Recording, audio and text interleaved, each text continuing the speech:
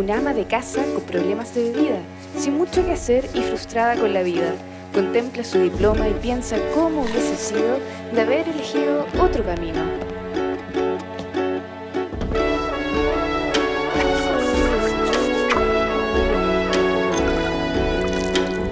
Un curador de arte muy ofendido por tener que acomodar según él obras sin sentido.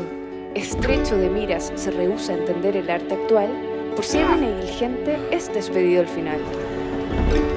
Un albañil que se ha quedado en la calle busca trabajo o alguien que se apiade. La gente que pasa lo atraviesa con la mirada, no lo ven, están ocupados con sus vidas cansadas. Un adolescente que nadie quiere escuchar mete en su bolso lo necesario para escapar. Sale por la puerta y apura el paso sin saber a dónde va o qué va a hacer. Tres músicos, idealistas y soñadores, se unieron para cantar y de esta forma el aprecio y aplauso del público alguna vez conquistar.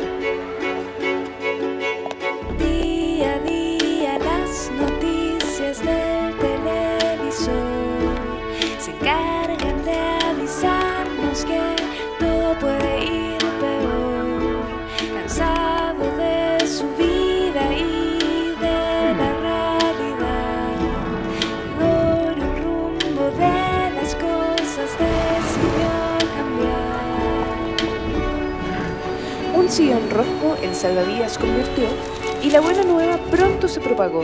Personas que anhelaban otra oportunidad llegaron al sillón huyendo de su infelicidad.